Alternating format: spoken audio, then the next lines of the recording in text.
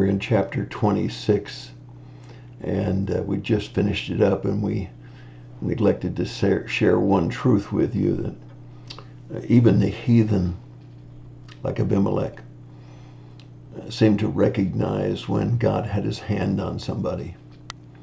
And I think the same thing should be true of Christians. When the heathen see a Christian, they ought to be able to see that God's got their hand on them. And if they can't, maybe we're not living as God intended for us to live. So that's a kind of a closing thought on chapter 26. In chapter 27, John Phillips says it's one of the saddest chapters in the book of Genesis. Now that's saying a lot for John Phillips because the book of Genesis is a lengthy book. It has a lot of real sad things that happened. Uh, Cain slaying Abel was certainly sad. Uh, the fact that there had to be a worldwide flood is certainly sad. Uh, the daughters of Lot having incestual relationship with Lot, certainly sad. The depravity of Sodom and Gomorrah, certainly sad. So why would John Phillips, uh, writer of an incredibly good commentary on Genesis, say that chapter 27 is one of the saddest chapters in the book of Genesis? Well, he goes on and says the reason he feels that way is because no one did what was right. This was a family unit. This was Isaac. This was Jacob. This was Esau. And this was Rebekah. A family unit. A grandfather, if you will. And two boys and a wife. And yet, John says nobody did what was right. It's sad, isn't it? That is sad when nobody in the family does what's right. And so in Genesis chapter 27, verses 1 through 4, Isaac is very old, likely blind, and that's why this deception was so easy to pull off.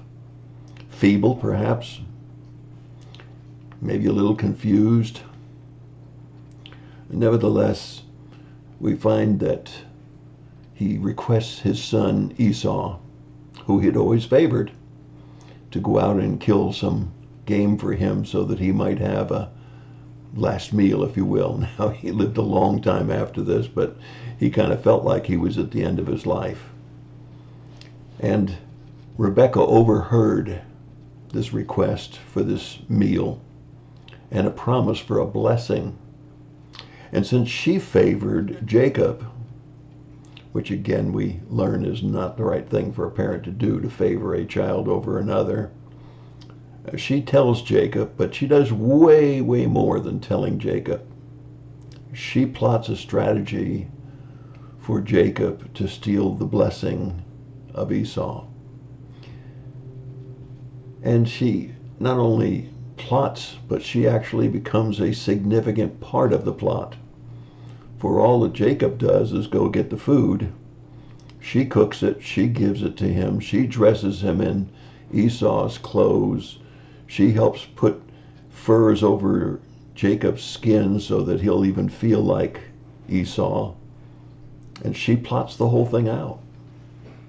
Now, Jacob questions it first but he doesn't question the deceptiveness of it as much as the fear of being caught. I wonder how many of us have been in that position that it wasn't our sin that was so bad, it was the fear of being caught in our sin that was so bad. In any case, he brings the food to his father.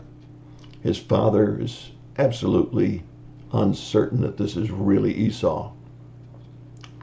And yet, they've gone so far with this deception that even when he thinks that the voice is that of Jacob and not of Esau, he does not only eat the food, but he gives Jacob a blessing.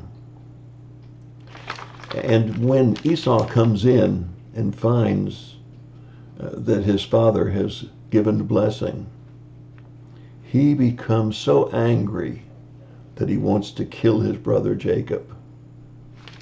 Now, that's sad too, isn't it? So we have a deceptive wife who favors a son, which is wrong, who plots a strategy which is filled with deception and lies. And we find that Jacob, in lying to his father, that one lie leads to another, as it always does. Lies tend to cause us to have to lie over and over again to cover our first lie. No wonder John Phillips said that this is one of the saddest chapters in the Bible. Well, excuse me, not in the Bible, but in the book of Genesis. No wonder he saw so much harm going on here. Now we know that God had already said that Esau would serve Jacob. We know that this plays out God's plan for Jacob to have the blessings of God upon him and not on Esau. Uh, but we all know that even though that may have been God's plan, uh, the actions of the family members are absolutely incorrect. And, and so we see this interesting story. And we see Rebecca's dishonesty, lack of submissiveness as a wife. We see Jacob's challenge, and we see the fact that even though he knows it's wrong, he goes along with a plan and one lie leads to another. And then we see the blessings uh, that Isaac gave to both Jacob and Esau. The blessings that Esau felt which should be his went to Jacob. The blessings that he gave to Esau almost seemed like a curse to me. Uh, but in any case, we find this interesting story. Now, what else can we learn from it? Well, we not only should learn about favoritism and how that can affect our thinking and our going outside of the will of God, uh, but I think it's very important for us to realize that we should want to bless all of our children equally. We should want to pray for all of our children equally, not play favorites. And we should definitely pray for God's blessings on their lives for the future. So I thought I'd close out this thought for the day with the blessing that Isaac gave to Jacob, which is the kind of blessing that we should give to all of our children, the kind of prayer we should pray for all of our children. And that will be my thought for the day. So let's take a look at Isaac's blessing of Jacob. Now may God give you the dew of heaven and the fatness of the earth and an abundance of grain and new wine. Notice that prayer is all about material things. May people serve you and nations bow down to you. Be master of your brothers, and may your mother's sons bow down to you. Cursed be those who curse you, and blessed be those who bless you. Well, I said it was going to be the closing for this devotion, but as I looked at that blessing again, I couldn't help but to come back and say to you, what else would you add to that blessing for your children? I know what I would add. You see, most all of that blessing was on not only God's will for Jacob, but it was about material things. It was about honor and position. But it wasn't a lot about spiritual. Uh, I think that the kind of prayers that we should be praying for our children are more spiritual and less material.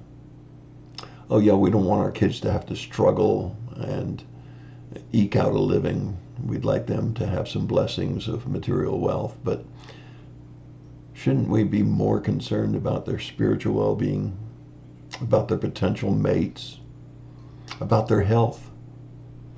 You see, as I looked at that prayer and that prayer blessing, it was more of one of head of the household leaving his possessions and his position to Esau, but it was really Jacob. Instead of praying for him to have discernment about the right mate, about drawing closer to God, about living for God and glorifying God in all that he did. Why not take a minute or two?